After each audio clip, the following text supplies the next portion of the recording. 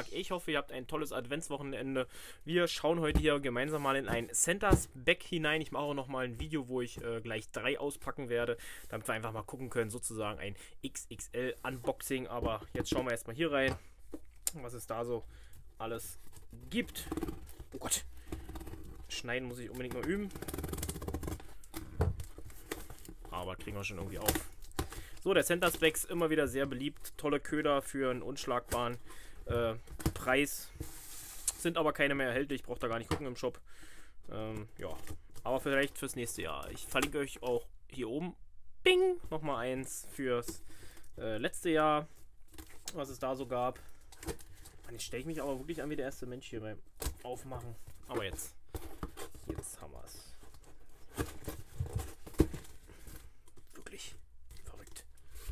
So, und da haben wir das gute Stück. Mit Verpackungsmaterial können wir ums, umherschmeißen. Ein Aufkleber und natürlich einen Zettel. Unser beliebter Center Spec. Das brauchen wir uns jetzt aber nicht durchlesen. Wir wollen ja mal schauen, was hier so sich alles drin verbirgt. Da, da klappert es schon. Da höre ich schon die Hardbaits. So. Mit O. Auf der einen Seite haben wir natürlich mal ein Branding mit äh, MFB Centers Back und auf der anderen Seite können wir natürlich schön stylisch am Wasser tragen mit dem äh, Perch im, ja, wie heißt das Design? Ich weiß es nicht. Es hat irgendwas irgendeinen Namen, aber ich weiß es wirklich nicht. so, aber dann fangen wir jetzt mal an hier, was wir da so alles drin haben. Da geht's schon los. Da haben wir Big Mama's Little Boy, einen schönen großen Finch, also zwei sozusagen. Die Farbe hatte ich ja auch schon in meinem Adventskalender. Ja, ein geiler Köder, ein absolut geiler Köder. Kann ich euch nur so empfehlen. Dann geht es hier weiter mit einer Packung Mac Perch Shed von Abu Garcia. Hier im Fire Tiger Design. Ja, der ist auf jeden Fall, würde ich mal sagen, auch UV-aktiv. Gott, geht mir jetzt. Ja, ist auch UV-aktiv natürlich. Ich weiß gar nicht, ob das immer so ist beim Fire Tiger. Aber vielleicht, genau. Aber der auf jeden Fall hier, ja. Haben sogar noch einen Jigkopf mit dran. Da wurde dann alles gedacht. Ach, hier übrigens auch. Hm, gar nicht gesehen. So, was haben wir noch? Was haben wir noch? Da haben wir noch einen Gummiköder. Ja, aber was das jetzt für einer ist, weiß ich nicht. Kann ich jetzt nicht so genau sagen. Weiter geht's mit von Westin Scandinavia ein Tees. Kick Tees ST. Orange Snow.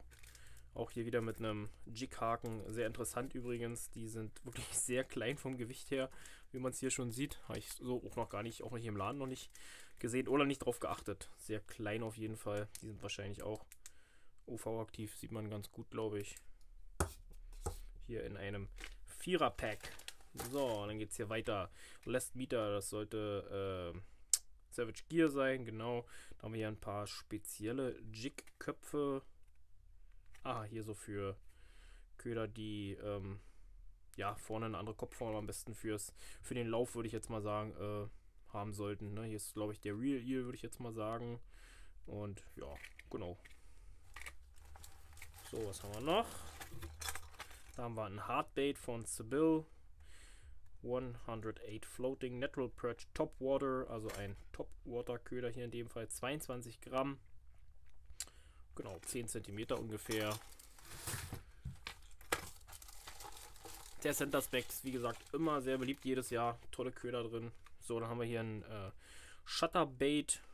Auch sehr im Kommen gerade, sehr im Trend, wie ich finde. Vorne ist hier ein kleiner Karabiner dran von der anderen Seite, wo dann euer Karabiner eingehangen wird. Und hier hinten kommt dann eben noch ein Gummi ran, den ihr euch in eurer Größe und Farbe, sage ich mal, was für euer Gewässer oder eure zu beangene Fischart am besten passt. Genau, auch geil. Also auch wie gesagt voll im Trend.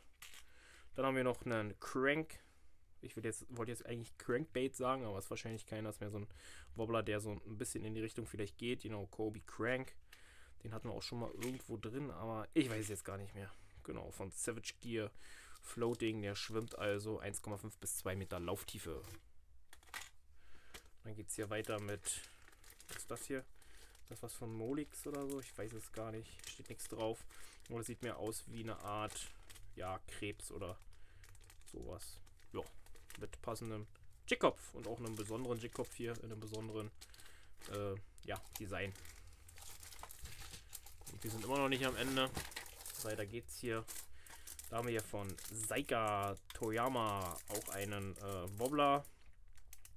14,5 cm lang Oberflächenköder.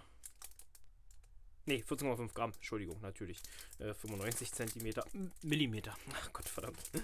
genau, Color Perch. Also die Farbe ist natürlich der Barsch. So, und dann geht's hier weiter. Da haben wir, da haben wir ihn.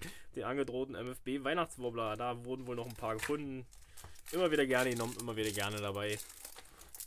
So, dann haben wir noch einen Lolli. Oh, wir sind immer noch nicht am Ende. Geht hier immer noch weiter. Da haben wir hier noch den Sasa Sea Trout in 16 Gramm von Abu Garcia. Genau, das also mehr so eine Art, ja, sagt man zu denen auch Spoon? Ich weiß es nicht. Spoon kommt ja wahrscheinlich eher von Löffel, aber könnte so in etwa passen. Ich weiß nicht. Könnt ihr mal in die Kommentare schreiben. Ja, auf jeden Fall würde ich mal auch sagen, UV-aktiv. Ja. Ja. Das ist doch mal eine angenehme, tolle Mischung. Äh, ja, mein Highlight aus dieser Box, muss ich ehrlich sagen, ist immer noch der Finch, weil ich wirklich gerne mit oh, Gummi mal angel. Und ja, Hardbaits ist nicht so meins, aber trotzdem tolle Sachen mit bei. Von allen möglichen Herstellern, für jeden etwas.